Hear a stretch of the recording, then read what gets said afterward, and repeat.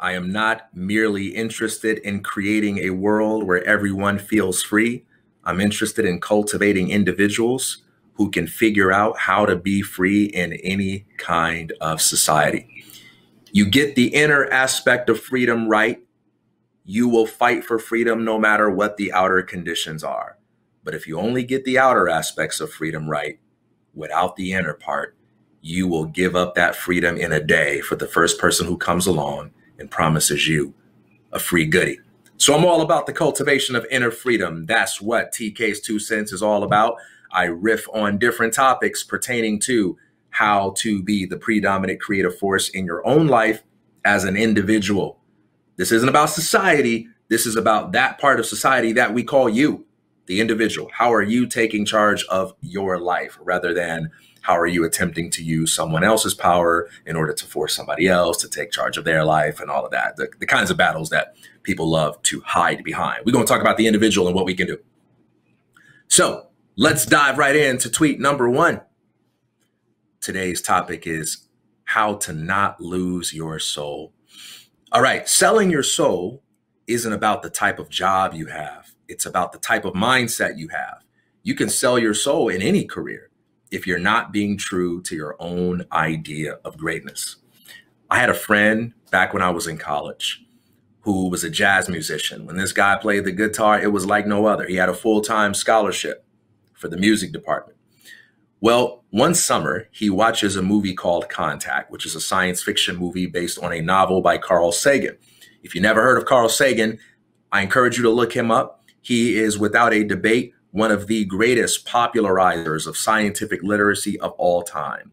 Carl Sagan had a way of talking about the universe in a way that made it seem magical without relying on magical explanations. My friend watched that movie and he loved it so much that he decided he was going to read the book that it was based on. He loved that so much, he went tumbling down a rabbit hole of Carl Sagan books and spent an entire summer just reading about science. He fell so deeply in love with science that he left his scholarship behind, changed universities so that he could go somewhere and study astrophysics.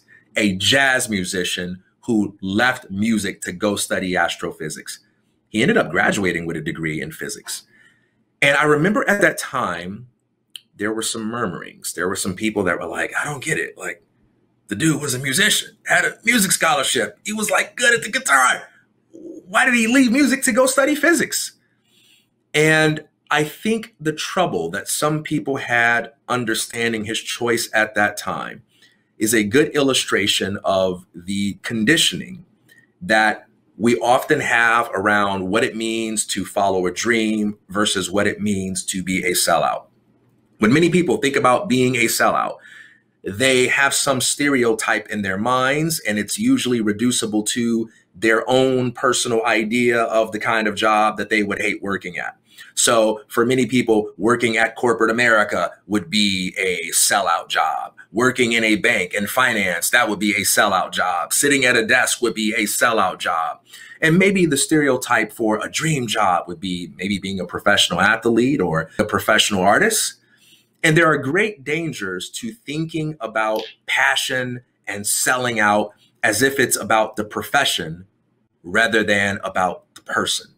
The truth of the matter is, a sellout is someone who abandons their preferences, their priorities, and their principles in order to live a life that is safe, in order to live a life that is free from criticism, or in order to live a life that other people will praise. And you can find sellouts not based on what I think of their lives, but based on how they abandon their own conscience. You can find sellouts in every field.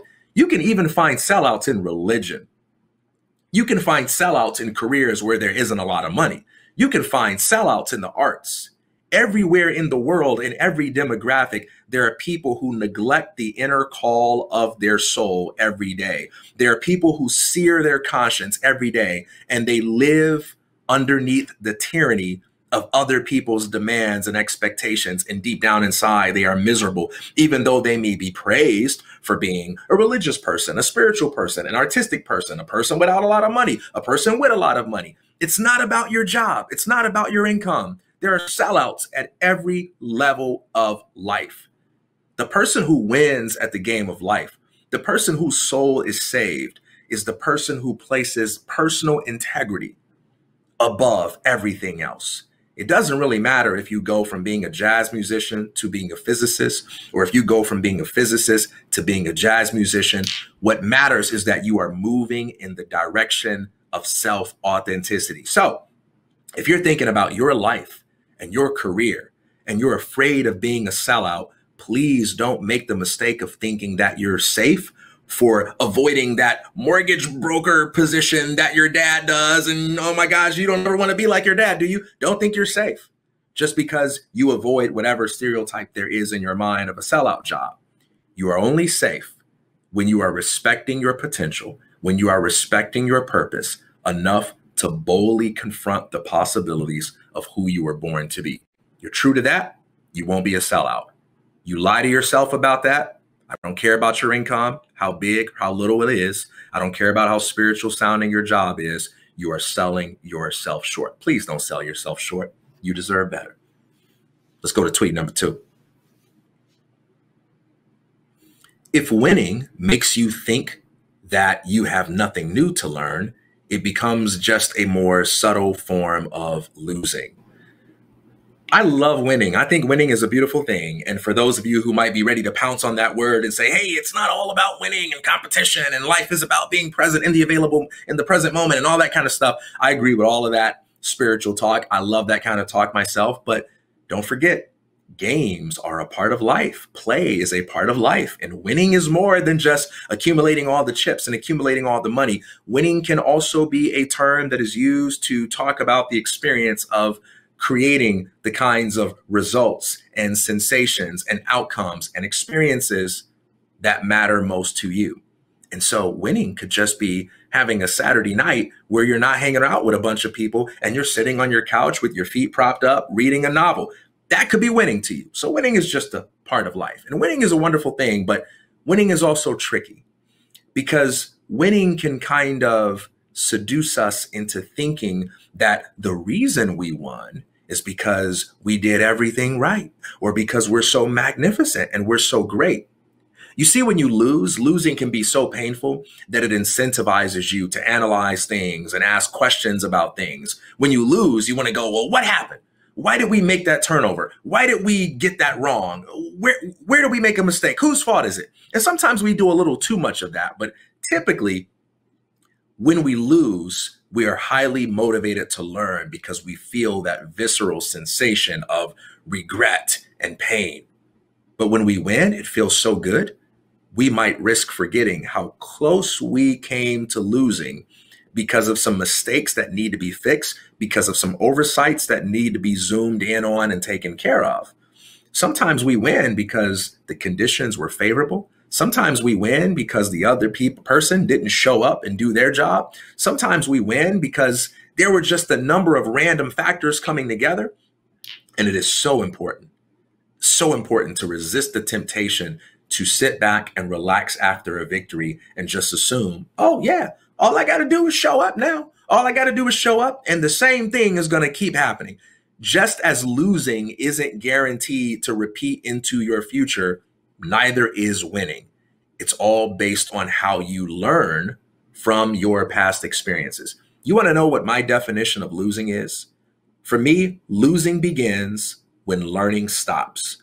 Don't ever stop learning because even if you won your last battle, the moment that you stop learning, that battle is going, that victory is going to be short lived and it won't repeat into the future.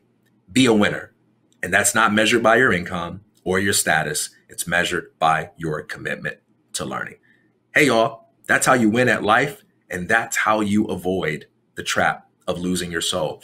If you enjoy this episode, please click like, please subscribe. Please leave a comment letting me know what you thought or asking any questions or making any requests about topics you'd love to hear me talk about in the future. And please share with a family member or a friend if you think it might be valuable to them. Take it easy, y'all. Create a great day. Peace.